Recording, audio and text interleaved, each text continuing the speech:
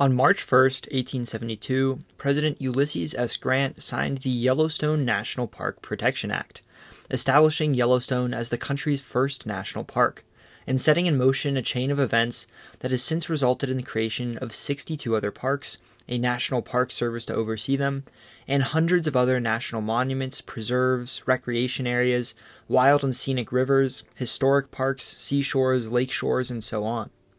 Other entities like the U.S. Forest Service oversee national forests, and at the state level, over 6,000 locations have been designated to be state parks throughout the country. While not national parks, they also serve to protect public lands and are typically drawn from when presidents select new locations to designate as national parks. The world's second oldest national park, after Mongolia's Bogd Khan Uul National Park, it helped spark a trend of national park creation around the world, and today around a hundred different countries have created their own national parks. Grant could hardly have picked a better location than Yellowstone to start what became nicknamed America's Best Idea. Yellowstone is consistently among the most visited national parks in the country, even more impressive considering it sits hundreds of miles from the nearest major city. It's arguably one of, if not the most iconic national park in the country, and one of just eight that has also been designated a UNESCO Biosphere Reserve and World Heritage Site. And by area, it's the second largest park in the lower 48. Its geysers and springs, bison and bears, lakes, mountains, and canyons have made it one of the most well known natural wonders in the country. In this series, I'll explore the national parks of the United States, in chronological order by the date they were established. Hello and welcome to That Is Interesting. I'm your host, Carter. This is the National Parks Explored, Episode 1 Yellowstone. This episode is brought to you by CuriosityStream, the best place to find and watch documentaries about science, history, technology, nature, travel, and so much more. CuriosityStream has exclusive award winning films and shows that you can't watch anywhere else plus the deepest collection of the best documentaries from around the world, deeper than any other streaming service out there. CuriosityStream adds new shows every week and is one of the very best deals in streaming. I actually personally used CuriosityStream well before the sponsorship. I'm a big fan of documentaries, that's why I enjoy making long form content on YouTube, and if you enjoy this channel, I know you'll love the kind of films that are available on CuriosityStream. You can find high quality documentaries on geography, culture, history, or any topics that interest you, such as science, technology, or music, and it's much more affordable than other streaming services. I'm currently enjoying a new series they released called Bridging the Expanse. I'm originally from a city with hundreds of bridges, and I've always been fascinated by these architectural marvels. This series explores the history and engineering behind some of the world's most spectacular bridges. If you enjoy my channel, I know you'll love this and any of the shows CuriosityStream has to offer. Even better, you can watch it on any of your devices, whether it's your laptop, TV, or mobile phone. Go to curiositystream.com/tii or scan the QR code for unlimited access to the world's top documentaries and nonfiction series. And for my fans, use promo code TII and you'll save 25% off. It's already one of the most affordable and best deals in streaming. So click the link below or go to curiositystream.com slash TII and save 25% right now. Because there can sometimes be some confusion, the National Park Service administers hundreds of units, but only 63 are actually considered national parks. When I use the term in this video, I'm referring to these 63, not everything in the entire National Park Service system. Taking up 2.2 million acres of land, Yellowstone is the eighth largest national park in the country and the second largest in the continental US, after just Death Valley. It's also the seventh most visited park in the United States, receiving 3.29 million visitors in 2022. Because of this, it can be a pretty touristy park and can unfortunately get really crowded at some of the more popular locations. There have also been a number of incidents of tourists getting way too close to wildlife and putting themselves and the animals in danger. However, it's also a huge park, and so there are plenty of areas that aren't just filled with people. Along with Death Valley and the Great Smoky Mountains, it's one of only three national parks in the country that's shared between multiple states, and the only one shared between three states.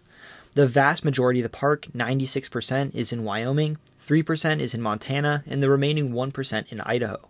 It occupies the northwestern corner of the square shaped Wyoming, and its boundaries stretch roughly 2 miles into Montana and Idaho in most sections.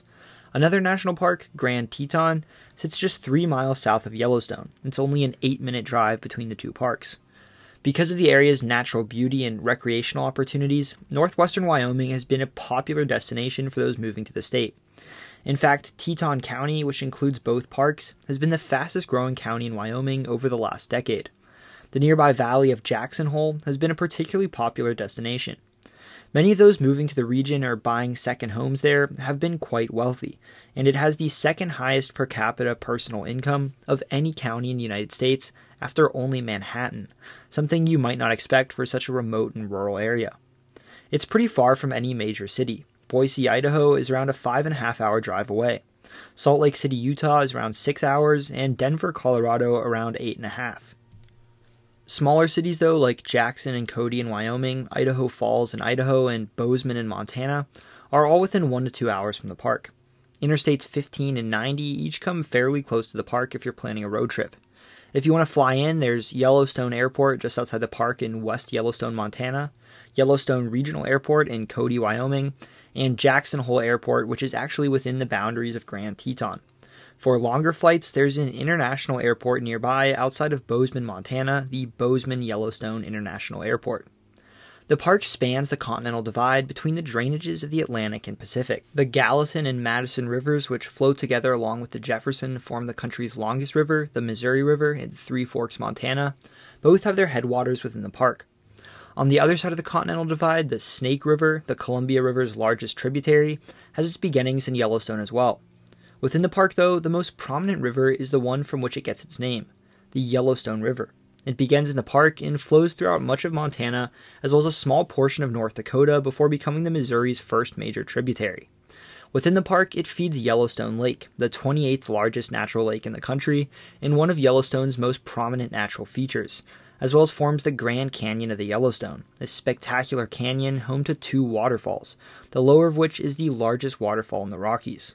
The yellow cliff faces of the canyon are what gave the river and later the park its name. Interestingly, there's a creek on the Continental Divide called Two Ocean Creek, which splits in two and flows down both sides of the Continental Divide, to the Pacific and the Gulf of Mexico. If you want to learn more, I have a video up about it. Yellowstone, though, is most famous for its geysers and hot springs, formed by water being heated by magma deep beneath the surface of the earth.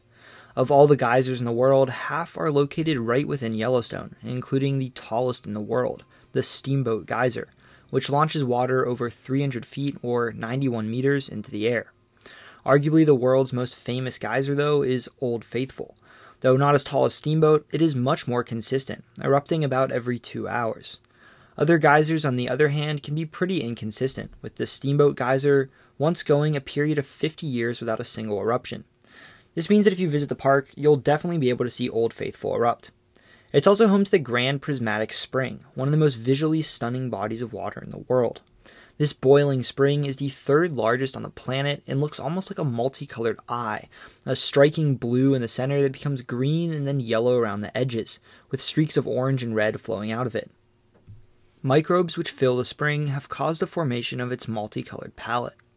It's home to plenty of other springs as well, like the iconic Mammoth Hot Springs. All in all, there are over 10,000 different springs, geysers, fumaroles, which are when gas and vapor vents out from holes in the earth, and mud pots, essentially hot springs with boiling mud instead of water, in the park. And they all exist because Yellowstone is more than just a scenic stretch of the Rockies.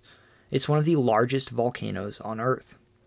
While it might seem obvious that the many geysers and springs which fill the park are the result of volcanic activity, the exact nature of the volcano eluded people for centuries, largely because Yellowstone doesn't look at all like a volcano.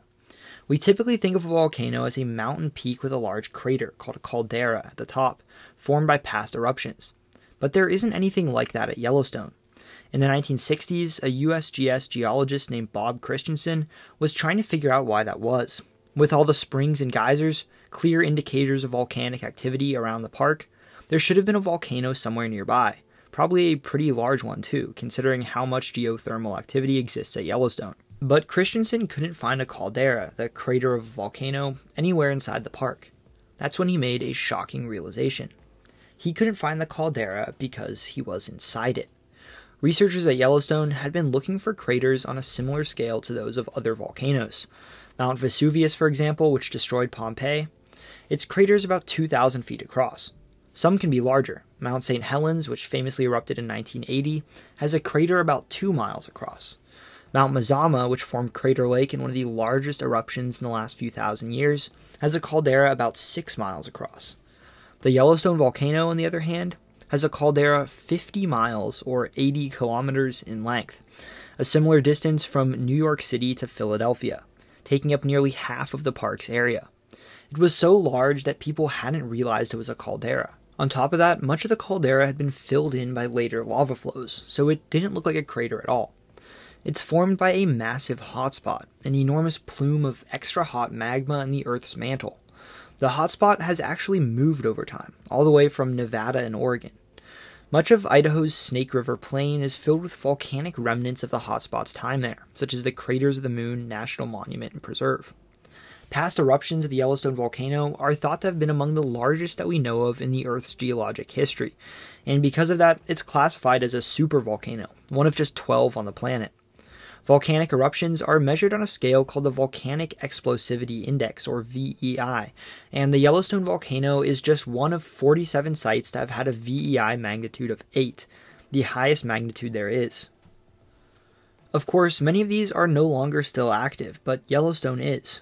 Because of the scale of this enormous volcano, an eruption could be what's considered an extinction level event, large enough to cause a mass extinction of many different species, not just from the explosive nature of the eruption itself, but from the weight of the ash, which would be heavy enough to crush buildings, and the possibility that the ash could block out the sun and cause a new ice age.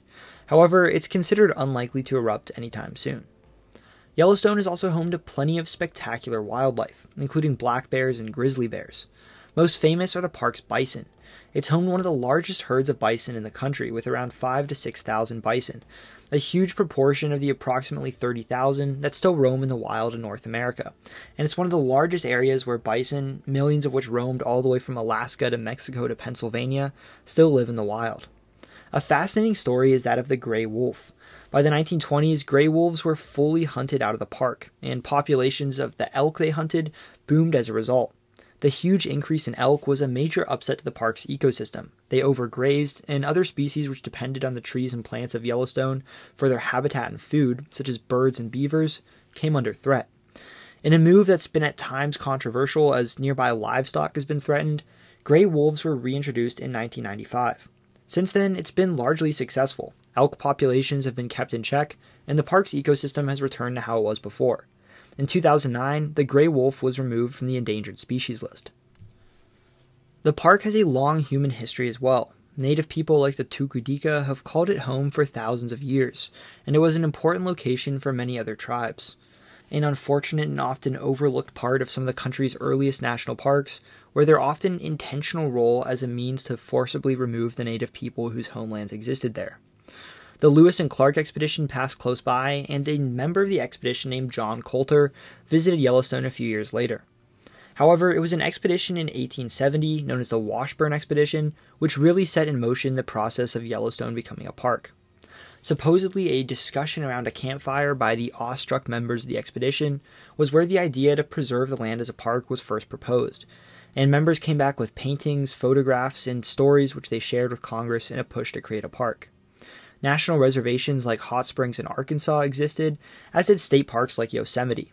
Because Yellowstone was split between three different states, it didn't make sense to make it a state park, and so in 1872, Congress passed a bill making it the country's first national park, which President Grant signed into law, the first of many American national parks to come. That's it for this video. I don't want to commit to covering each of the 63 national parks in the country quite yet because I'm still not quite halfway through my series in each of the states, the US explained. But if you guys enjoy the national parks explored, I'll keep making more. Up next, we move west to California's Sequoia National Park. If you spent time in Sequoia and have anything you want me to include, leave a comment and let me know. I want to give a big thank you to everyone who's already joined my Patreon. Through it, you can access different things such as behind-the-scenes videos, early access to maps I create, an exclusive Discord Q&A with me, ad-free content, and shoutouts to my videos. Please be sure to check out the TII store, where you'll be able to purchase all sorts of official That Is Interesting products and merchandise, including shirts, hoodies, embroidered beanies, masks, mugs, embroidered backpacks, laptop stickers and sleeves, and so on. I really appreciate the over 900 of you who have already joined my Discord server. If you haven't joined the Discord server yet, it's a great place to continue conversations about the topics discussed in these videos, interact with fellow viewers, and help provide information and suggestions for future videos. It's a great community, and we do fun stuff like geography game nights, live podcasts, and so on. I'll put links to both the Patreon and the Discord in the comments. Thank you for watching this video, and I hope you learned something new. Subscribe for more content like this. I cover the countries, cities, people, and places of the world and beyond. These videos will leave you saying, that is interesting.